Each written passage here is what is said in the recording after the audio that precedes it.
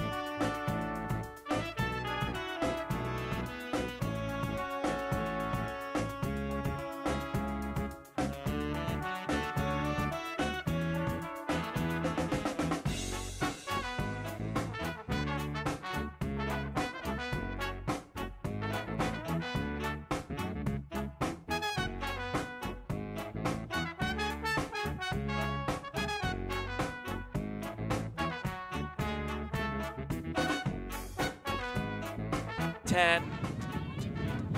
Betty goes up to Handley. Handley looks long. Cartman's out the back. It's sitting very nicely.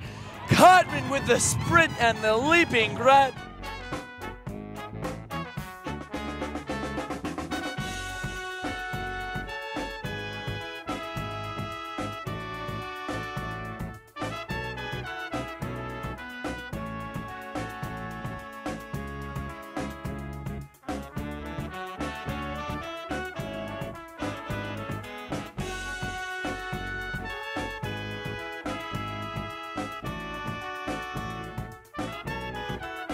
Weatherall's got it. She's got the winning goal, and that is 15-6. Ellipsis are your national champions once again with the three-peat.